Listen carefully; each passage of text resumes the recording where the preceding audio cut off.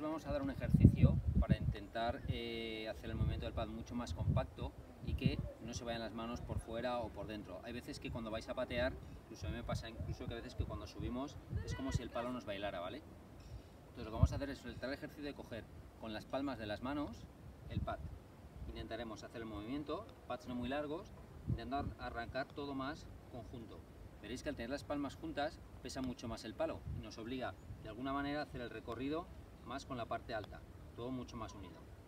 Nos colocaremos junto a las palmas de las manos, intento hacer un recorrido todo mucho más unido. Probablemente te hace un poquito más de fuerza en la empuñadura, ¿vale?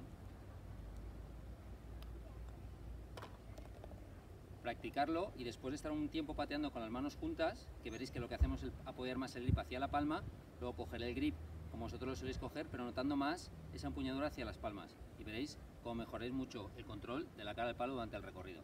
Un saludo.